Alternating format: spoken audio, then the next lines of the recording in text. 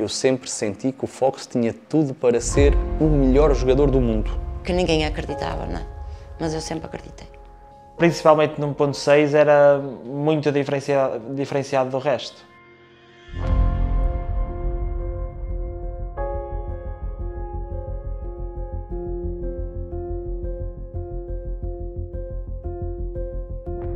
Sou Ricardo Pacheco, mais conhecido por Fox, tenho 36 anos e sou jogador profissional de CS.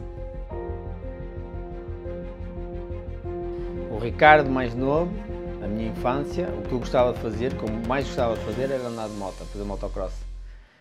Uh, era muito à base disso, andar de motas, motas, a minha família sempre foi uh, ligada às motas pelo meu pai. O meu irmão também andava de moto, a minha mãe também gostava de motas, tipo, era, coisa, era o que eu mais gostava de fazer. Opa, é assim, eh, eu quando o conheci ele era pronto, um bocado diferente daquilo que é, mesmo o aspecto, o, o aspecto que ele tem, não é? Eh, sempre foi um gajo com estilo e tudo mais, mas uma pessoa muito, sempre muito acanhada, muito, muito calada. Sincero, ele era esquece, lá, ele era pá, um ganhadinho, como a gente costuma dizer. O gajo era. Primeiro que ele se desenvolvesse uma, uma confiança comigo, que ele durou uma eternidade. Ele é muito, era muito para dentro. Pá, depois conheci o CS e acabei por, um, por deixar de andar de moto também e, para jogar CS, basicamente. Era um rapaz que me deu muito, muito, muito trabalho. Eu, eu não gosto muito de dizer isso, mas acabo por dizer porque é tu se queres ser sincero, tens que dizer, eu nunca gostei de escola, nunca fui dado à escola. E eu cheguei a um ponto e disse, não Ricardo, não vens para a escola, vais, vais para casa, vais escolher ou vais ficar na avó ou vais para casa. A minha mãe na altura não queria que ele deixasse de estudar, mas ele chegou a casa e ele sempre foi uma pessoa muito decisiva. E ele chegou a casa na altura, eu lembro-me pai com 13 anos ou 14, chegou a ver a minha mãe e disse que não queria estudar mais, que queria, o futuro dele era os computadores. E era, neste caso, o CS. Entretanto, eu não sabia que ela andava nos jogos. Depois, ele falou comigo e disse-me que não ia para a escola porque entrou num jogo de computadores. A única coisa que o meu pai, na altura, que não gostou, que eu acho que ele não gostou, foi mesmo de deixar os estudos. E ele sempre culpabilizou um bocado a minha mãe, mas só que a minha mãe sempre o apoiou em tudo. Tive sempre uma ligação com o meu pai, tipo mais irmão mais velho, estás a ver? Por isso é que, na altura, custou-me se calhar mais que o normal, porque eu tinha uma relação mesmo tipo 5 estrelas com o meu pai.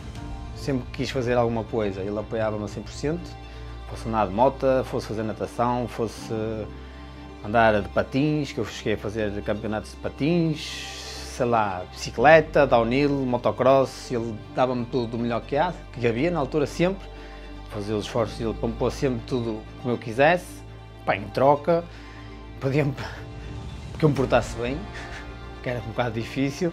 E eles iam comigo às compras, fugiam-me. O que é que eles faziam? Iam falar com a menina a dizer que perdeu a mãe. E eu estava nas compras, na, na minha, no meu sossego, não é? E eu ouvi o alto falando. Procura se a Ana Paula Marinho Esteves, os filhos perderam-se da mãe. Várias vezes me fizeram isso. E eh, aquilo tinha uma rampa e ele do nada vira-se para mim e diz-me assim, ó oh, Mário, mete dentro do carrinho. E eu meto-me dentro do carrinho e ele larga vou, vou deixa-me contra um carro. Minha mãe chega cá fora, até se assustou, o carro todo empenado. Opa, mas é, é, eu acho que são parbices da idade, não é? Mas só que ela sabia que a todo lado que ia com, com, com os dois, ia haver asneira. E ela não se sentia à vontade aos sítios que ia, percebes? E, eu, e muitas das vezes, pá, tem coisas de rir, mas que na altura não era muito de rir, porque a nossa mãe passou um mau bocado por as asneiras que nós fazíamos. E uh, opá, agradeço por tudo que ela fez por nós, porque ela foi das pessoas que, que fez tudo por nós. Ela foi um pai e uma mãe. Nós perdemos o nosso pai cedo e isso custa-me. E, um, mas no que toca aí, sempre pôs tipo 100%, dava-me tudo, tudo, quando digo tudo, digo tudo o que, podia, o que não podia às vezes, e pronto, tinha uma relação pá, mais fora do normal com ele, por isso mesmo. Apoiava-me 100% em tudo, até no que ele não apoiou. Foi a coisa que eu segui carreira, que foi CS. E se ele não me apoiava? Chegava a casa todos os dias e ficava tipo desanimado. Pronto, opa, é uma das é se calhar a coisa que mais me, que mais me custa, é que ele não tenha tipo, visto o sucesso que eu consegui ter. É só isso. A revolta, entre aspas, em mim como pessoa, é só isso. Porque sei que na altura era, ele era completamente contra. Pronto, começou a andar, teve três anos fechado em casa, derivado ao computador a jogar. Mas pronto, eu sempre o apoiei, apoiei, que ele dizia que era aquilo que ele queria. Havia muitos problemas, pessoas aí presas e tudo muito mais. Uh, a minha mãe, neste caso a minha mãe, para ela foi, eu sinto que foi um alívio, meter-me um PC em casa e senti que eu estava ali, que eu estava ali um, sempre em casa, para não andar na rua, se calhar tomar outros caminhos mais, mais difíceis. Nós estávamos em lojas, fazia-se pequenos torneios, em Guimarães era uma loucura que, que, nós esperávamos para jogar. Posso dizer que nós esperávamos tipo uma, duas horas para jogar e, e entre as, as, pessoas todas estavam lá fazendo os mini torneios. E aí apanhei umas vezes o meu irmão, que não percebia muito bem do jogo, mas como o grupo de amigos basicamente era o mesmo, todos se davam bem, acabava por jogar sempre contra ele. Eu acho que a evolução nessa altura era era bastante grande porque tinhas toda a gente junta sempre e tu olhavas sempre a ver as pessoas a jogar eu acho que isso ajudou muita gente logo a evoluir rápido nessa altura. E ele emprestava o computador do mar aos amigos. Estava mais uma vez excluído o irmão e eu proibi. Podes trazer quem tu quiseres para aqui, mas o computador é do, é do teu irmão. Que eu acho que ele tinha muito nível e bem mais nível que muita gente que anda aí e que até são profissionais ou foram, isso sim. Isso sem dúvida nenhuma, e as pessoas que conhecem o meu irmão sabem que ele tinha nível. Eh, como tudo começou no clube e o Fox era uma. Eu não sei se vou dizer adolescente, eu acho, eu acho que é mais uma criança do que um adolescente. Pá, sempre foi irreverente, Fox, sempre foi o Fox, não é? O que o Fox é hoje em dia já era na altura, podia ser um bocadinho mais introvertido, mas o feito é sempre o mesmo. E os, os, próprios miúdos que vinham da escola, o Fox estudava uh, ali perto, vinha ali ao clube, era um estávamos a falar devia ter 11 anos, talvez. Era muito pequenito, era um miudito, vinha lá, nós gostávamos muito dele, que ele era assim muito, muito caladito, e era muito engraçado. E, e ele passava muito tempo no, no, no, clube. Começou aqui a jogar com os amigos, nada, nada sério, e a aptidão que ele tinha para o jogo, a, a facilidade com que ele conseguiu aprender e, e executar as coisas, e, e uh, destacou-se logo dos demais? Uh, e nós, quando digo nós, digo as pessoas do clube, uh, não queríamos juntar-nos ao XXI, então decidimos formar um clube, um clã que se chama UFO, United Forces Organization. A ascensão dele foi, ele começou a jogar num grupo de, de uma equipa que era mais miúdos, que salvo erro, posso estar, salvo erro foi o, o paraquedas que o recrutou para essa equipa, e ele facilmente deu, deu, deu nas vistas. E eu disse, não, este, este puto tem, tem um potencial acima de, da média e este gajo vai ser o melhor jogador do mundo. Eu, para mim, já era o melhor jogador do mundo em P5 na altura.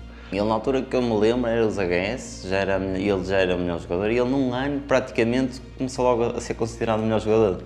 Depois eu comecei a tentar ter conversas com o meu irmão sobre CS e ele só me disse: só falas de CS comigo quando eu. Uh, quando tu souberes jogar? Porque eu queria, tipo, queria jogar mais, queria treinar mais, queria, tipo, queria, pá, tinha os meus objetivos pessoais, já na altura, queria, queria ver se conseguia chegar a um nível superior e para isso tens que, tens que jogar, tens que treinar, não podes estar aqui. E o pessoal cá de Guimarães nisso era mais folgado, estás a ver? Olha, a primeira vez que fui, que fui ver um torneio foi ali na universidade. E o porquê? Andava uma brincadeira, uma brincadeira na net a dizer que ele ia ser pai puseram uma brincadeira que foi uma brincadeira, mas eu não sabia que era uma brincadeira. E eu fui, eh, fui ter com ele e fui-lhe perguntar que história era esta. Dele disse, pai, ele tinha 16 anos. O meu susto. E ele começou-se a rir e disse, mamãe, isso é uma brincadeira que anda no computador e eu não vou ser pai nada. Eu sou, eu sou uma pessoa muito competitiva. Uh, já desde miúdo, em tudo que metia, queria ser o melhor, em tudo desde bicicletas, motas, sempre tive isso dentro de mim. Meto-me numa coisa, quero sempre dar o meu melhor e, tentar ser o melhor. Uh, e o CS não, não, fugiu à regra. E eu fui reparando que, pá, que tinha jeito para o jogo. Comecei, comecei a achar que podia ser o melhor jogador português, na altura passa por isso. Eu não comecei nunca pensei em ser o melhor jogador do mundo. Na altura, faz- o, na altura o, que- o dinheiro que fazia, o que se fazia, é, foi, isto foi mesmo no início. Estava mesmo no início, primeiras LANs, primeiros prémios, e os prémios às vezes não, nem era dinheiro, era um rato, exatamente, um rato, um tapete. Nós na altura nós descobrimos que era ser. Nós, enfim, fomos os primeiros. Na altura ganhámos o torneio e ganhámos uma caixa de Danoninhos cada um ahm, e, uma, e um modem ADSL. Mas não é? Nós queremos ser sempre os mais eh, fortes, é? os melhores. E foi aí que, que se fez a fusão eh, dos melhores elementos dos RD com os melhores elementos dos HS que deram origem aos Exotic. E eu julgo que aí foi de facto eh, o primeiro grande passo do Fox.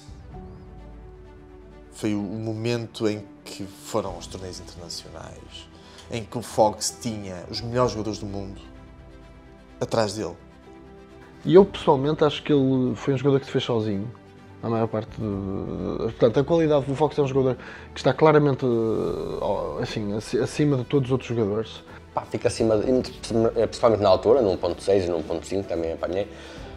Eh, ele estava tanto acima de toda a gente, acho que o pessoal não tem bem noção. ele fazia mesmo muita diferença e aquilo saía tipo, era decisões de um segundo. eh, e opa, eu vi-o a fazer coisas inacreditáveis. primeiros, primeiros que nós realmente nos focávamos era nos, nos qualificadores das LCs, da LCG, que são os mundiais, basicamente. Tu ganhavas cá e ias representar Portugal. E foi aí um bocado muito que eu, que eu me agarrei e tentava dar nas vistas para um dia ter a oportunidade que tive. Agora, na altura, lá está, o pensamento era completamente diferente. Nós, chegavas lá e vias que realmente aqui éramos uns amadores. Eh, só que aquilo era um mundo. Fiquei, tinha 21 anos, Fox tinha 20, o resto tinha 20 também. Aquilo foi surreal. E tu aí vias que os palcos eram outros. Aquilo realmente os palcos eram outros.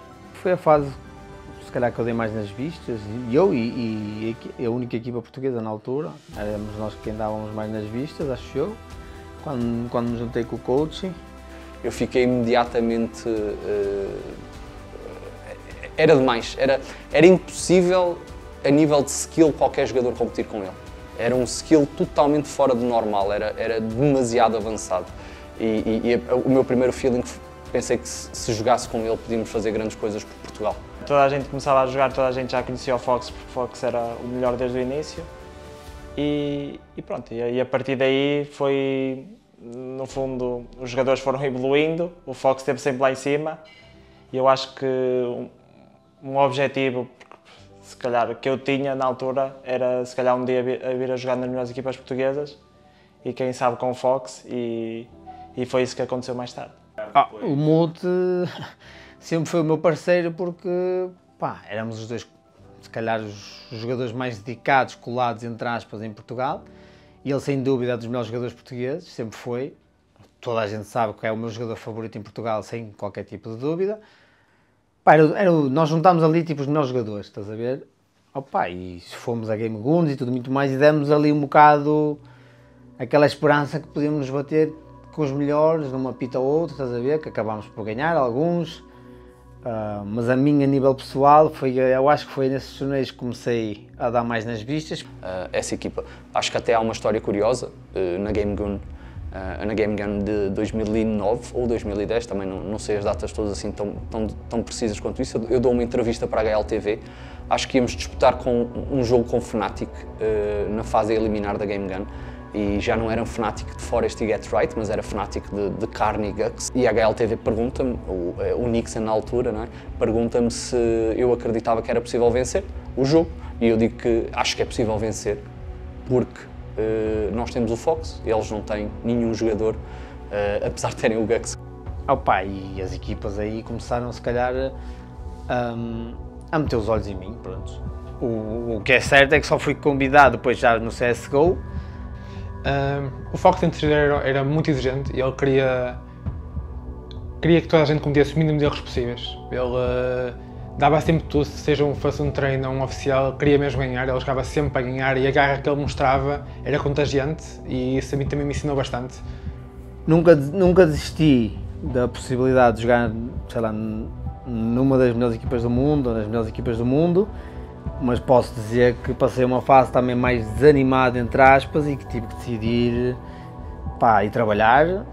Cheguei a ter três trabalhos ao mesmo tempo Porque o CS, como tu dizes, tipo, eu estava nos kick, o, pá, o Spirit tenho, tenho muito a agradecê-lo até, porque sempre tentou dar-me o mais salário possível, mesmo dentro dessa crise, ele que na altura tive vários problemas, tipo, mais para o mental, depois da morte do meu pai, mas foi aí nessa altura que eu recebi o convite dos espanhóis, e na altura eu estava muito pegado à minha ex-namorada, à Joana, fui viver com ela para Coimbra até, uh, Opa, e na altura o X6 já era uma, uma, equipa a nível internacional de passar um mês fora, nos Estados Unidos. Opa, eu na altura acho que fiquei tipo. Como eu estava ali numa fase mais, mais negra a nível pessoal. Estava afetado, claro. Ainda por cima, quando o pai dele faleceu, ele não estava cá em Guimarães, penso que estava em Coimbra. Uh, pá, aquilo mexeu com ele. Uh, o pai dele era, era tudo para ele, era um exemplo, e pá, é normal. Eu fechei muito em casa, que, tipo, que cheguei, isto as pessoas não se podem saber, algumas pessoas sabem, mas eu também tenho problemas em dizer, fui acompanhado por psiquiatras, psicólogos, tudo, e na altura tenho o convite, acabo por aceitar, só que depois na altura de chegar para ir para os torneios, aí tens que ir para Dallas agora três semanas, e eu começava-me a vir aquela ansiedade ao de cima, pá, não consigo. Uh, o salto, uh, quando foi para, para as equipas, uh, para a equipa internacional, era mais do que justo, era mais do que esperado. Eu acreditava que sim. Pá, tinha problemas psicológicos por causa da cena do meu, do meu pai e tudo muito mais, mas opá, ali, ali quando te dão um contrato desses, tens tipo que parar e opá, não vais estar com, com as tuas paranoias que não consegues sair de Portugal sozinho e tudo muito mais. Tens de fazer a vida como se calhar uma oportunidade destas ninguém te vai dar outra vez. Pá, eu senti isso, isso, eu senti isso e digo a toda a gente que isso foi um sinal, sei lá, vindo do meu pai, por exemplo. É, é nisso como foco, pá, não, não percas esta oportunidade, está aqui a tua viragem tipo de vida.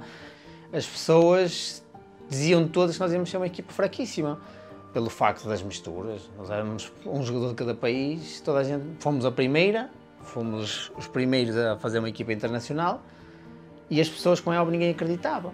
We wanted to have the best players from the best countries, basically. Um, and uh, Fox came up in the discussion with me between me and Scream uh, because we knew he was big in Portugal. We knew he was really good. So we just asked him if he wanted to play. We know that he. Penguin foi para os Guia 2. Nós não éramos considerados ninguém na altura. Nós tínhamos uma equipa internacional às cegas e nós é que tivemos que provar que éramos uma, melhor equipa, uma das melhores equipas do mundo e éramos. Fizemos a equipa, passado que é nem um mês qualificámos para o Major, virámos Legends, tipo, isso ninguém tira. Uh, porque eu passei ali uma fase difícil por causa dos ingleses e depois houve alguém da equipa que já me queria tirar da equipa e tudo muito mais. A termos, em termos mediáticos, obviamente que a minha a minha vida mudou tudo, mudou completamente. Uh, tu tens, sei lá, eu cheguei sei lá, as redes sociais, como é óbvio, deram um disparo enorme. Uh, o facto de andares na rua, as pessoas reconhecem-te. Se tens algum reconhecimento, que eu em Portugal acho que não temos o reconhecimento que devíamos ter. Né? Dos G2, isso, isso para mim foi a pior decisão de sempre. Não nada contra os Face, que toda a gente sabe que eles são grandes como organização. Mas primeiro a mim custou-me, eu fui eu e o Jacob, fomos os dois únicos jogadores que estávamos contra a mudança. Uh, pá, porque primeiro eu, eu, gostava do Ocelot e do trabalho que ele fez e da aposta que fez em nós. E acho que no, eu venho de um, de um meio uh, mais humilde que tens que dar valor a essas pessoas e não podes tipo simplesmente deixar essas pessoas na mão só porque vais para os Face porque tem mais novo a nível de YouTubes e tudo muito mais, estás a entender? I think uh, Fox is definitely one of the best guys uh, that I've ever played with. Um, I think he's really hardworking, and it's something that I've heard from from all his pre- previous teammates, from all the, the, Brazilians and everybody, that he always works so hard. And um, I think um, he's uh, definitely one of the hardest working teammates that I've had. Uh, and uh, especially in the start of CSGO, like things were very different then, but Fox was always had that winner instinct and equipa aí dei uma pausa e vim para Portugal. Nem nem nem estava a pensar em equipas na altura o meu filho a minha namorada atual, da, da atualidade na altura estava grávida. Uh, não pensava muito sequer em equipas voltar para fora estava um bocado focado também na gravidez sei lá tipo um, do nada recebeu a melhor proposta se calhar que tive até hoje que foi jogar com os brasileiros na melhor equipa, era a melhor equipa do mundo na altura. Acho que aí foi do nada, estava a lanchar, recebi uma chamada, e eu nem ia estar nem cedo, não é? Bah, mas, e acho que aí também foi, se calhar, o, o auge, o pico de carreira também. Faltava só ter ganho aquele mês, vacilámos um bocado, mas Foi o melhor momento da tua carreira? Pá, sim, eles eram a melhor equipa do mundo. Tu, quando jogas na melhor equipa, na, top 1 mundial, para, ir, para ti, como objetivo pessoal, como eu falei antes, foi sempre o que eu quis, consegui chegar lá. Independentemente se foi dois ou três torneios ou o que, o que é que seja, eu cheguei lá e joguei, ponto. Ou seja, a nível pessoal, consegui o objetivo. Eu descrevo o Fox como um, um ótimo teammate, no geral, como pessoa, como profissional, um cara super sério, que leva o jogo a sério, que ama o que faz. Na época a gente vinha também de alguns resultados mais ou menos ruins e o Fox foi uh, fundamental, eu diria, na, na retomada da nossa confiança, né? Ele chegou lá, eu lembro que ele chegou na, no nosso time e ele falou, pô galera, vocês são os SK, cara, vocês, uh, todo mundo na Europa tem medo de vocês, todo mundo na Europa lá, os caras que eu converso na Europa jogam com vocês com medo. O Fox sempre foi um cara muito batalhador, é, sempre teve uma vida muito difícil, sempre batalhou para ter as coisas dele e é um cara muito, muito gente boa, ajudou a gente também em muitas coisas também, nossa carreira também. E quando eu ia falar dele foi praticamente nesse campeonato, ele jogou bem pra caramba nesse campeonato, inclusive. E foi aí que a gente começou uma boa relação de amizade. Sábado, que é o meu filho. Eu na altura eu acho que mesmo que, que tivesse uma proposta em concreto para ir para ficar lá, eu se calhar não tinha aceitado. Estava muito, pá, não quero ficar aqui com o miúdo a nascer. Uh, eu perdi o meu pai muito cedo, dou valor, se calhar dou um bocado de valor mais a isso, porque quero acompanhar uh, tipo, o crescimento do meu filho e não estava se calhar, mesmo que tivesse a, a, a oferta 100%, eu não estava se calhar disposto a, a, abdicar do nascimento do meu filho, os primeiros meses e tudo muito mais, uh, para jogar, pá, nem que seja na melhor equipa do mundo. Eu dou muito valor a isso, não sei se é pelo facto de ter perdido o meu pai muito cedo, mas pá, o que é certo é que o CS tira-me bastante tempo de estar com o meu filho. Primeiro português a pôr o CS e pôr Portugal no mapa dos esportes. Foi o primeiro jogador a ser patrocinado pela Red Bull de esportes. Foi o primeiro jogador português a ir a, a Majors. Lá é falado por uh, jogadores como Folden e como outros que fizeram parte da equipa dele. Sempre uh, dele. Não, orgulho, não. Um gajo, amigo que é amigo, pá, só, ali só tem que sentir orgulho, né? Fiquei bem contente por ele, estás a entender? Pá, o gajo, um gajo que luta. Ah, olha, acaba por ser um exemplo. O gajo ali, acreditou naquilo, pá, né? Acreditou no que, que, ah, que aquelas horas todas ali iam dar um futuro, frutos. Opa, e conseguiu, conseguiu chegar ali acima pá, e fazer boas prestações. Fui para o Giants, com e tudo muito mais que quis voltar para Portugal. Pá, o que é certo é que a equipa, de, nós damos bem como equipa. Sim, no Giants eu acho que acabou por ser um, um projeto muito especial porque era. Basicamente estavam toda a gente que jogou anteriormente junta, estava a voltar a, a estarmos ali todos. Fizemos boas, bo, bons resultados, apurámos para a Blast, sei lá. Ou seja, tudo que nós metemos em foco, nós alcançámos na altura, menos o Major, não é? Uh, mas acho que isso, pá, infelizmente até hoje não, nenhuma conseguiu, mas acho que foi o único, o único problema que tivemos, foi nunca conseguimos tipo, alcançar o Major. E juntámos a experiência dele com a nossa, com a nossa garra, com a nossa ambição toda. Foi, foi algo muito bom para nós e também foi algo muito bom para a cena toda portuguesa, porque era o que toda a gente queria ver, era o que toda a gente queria que, que o pessoal juntasse. E acho que aí na reunião fizemos coisas boas, muito boas. Ganhámos a, melhor equipa espanhola de sempre, que era os Movistar na altura. Uh, fizemos um brilharete na, na Borraça Madrid, em que ganhámos aos Movistar, uh, ganhámos aos NIP, temos outros bons resultados. Fui para os offset, fui muito bem recebido. Tenho grande carinho pelo patrão daquilo e os filhos, receberam 5 estrelas. Estes 23 anos para aí, posso dizer que foram desgastantes. um, Posso dizer que tenho sequelas disso também, uh, problemas tipo, não é psicológicos, mas como pessoa, pelo tempo que isto me tirou, tipo, sempre em frente ao computador há tantos anos. Uh, mas que, pá, ao fim e ao cabo, uh, não mudava nada do que fiz. Estou contente com o que consegui alcançar, aliás, muito contente. Sei que podia fazer melhor, se calhar, uh, mas pronto, eu tentei sempre conciliar vida de jogo, estar com as minhas pessoas também, tipo, e isso se calhar afeta um bocado a vida de um gamer.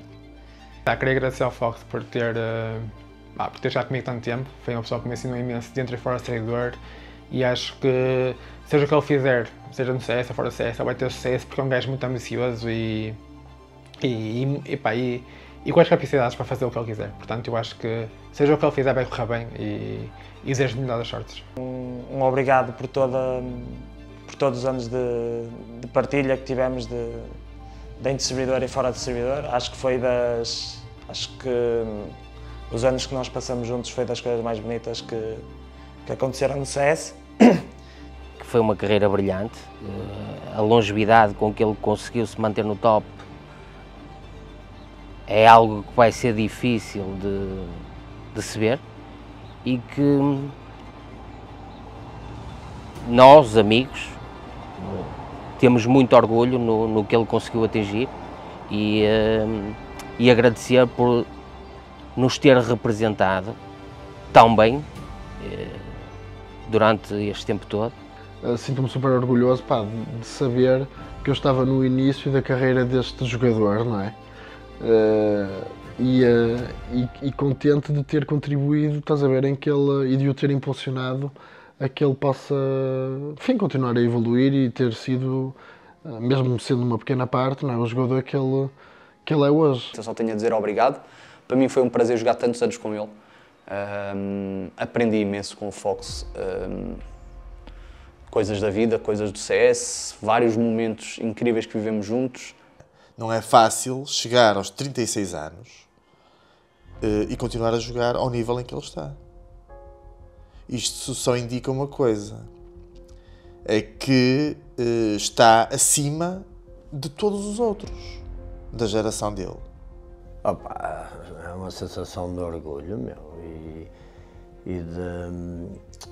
E de, opa, e, e, de respeito e de amizade, de opa, tudo, tudo que tudo que a gente que a gente passou e ele passou principalmente com, com pouco. É surreal surreal porque o Fox não vem da América o Fox não vem né, da Finlândia não vem da Noruega o Fox vem de Guimarães. Pensei-lo a jogar em casa uh, de uma cidadezinha e bem, bem revolucionar os esportes em Portugal e se calhar até para outros jogos abriu portas para para tudo, organizações, e, e, e, verem aqui que realmente era possível fazer algo mais e, e desprenderem-se um bocadinho do amadorismo que Portugal sempre se agarrou. O que se calhar o deixa mais triste é o pai dele não ter visto o salto que ele deu e como a vida dele mudou e melhorou por causa daquele jogo. Era uma coisa que eu também gostava que o pai dele tivesse visto. Uh, Pá, e no geral, sabe, parece que eu estou a falar como se, como se fosse fazer uma retrospectiva da carreira, eh, porque a carreira acabou. Eu acho que não. Eu acho que, pá, eu, eu vejo o Fox e a qualidade que ele tem e, e comparativamente às pessoas que jogam, eu acho que ele ainda tem muito nível uh, para poder continuar uh, competitivamente. Espero que sim. Tenho muito orgulho. Mas é nas duas. Mas nele, derivado à carreira dele, que ninguém acreditava, não é? Mas eu sempre acreditei. Só quero que ele seja feliz e que faça, e que faça tudo o que ele quer. Para a carreira dele, tudo.